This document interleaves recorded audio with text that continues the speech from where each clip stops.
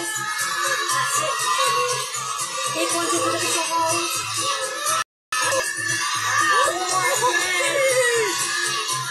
Hey, you got this for your supper.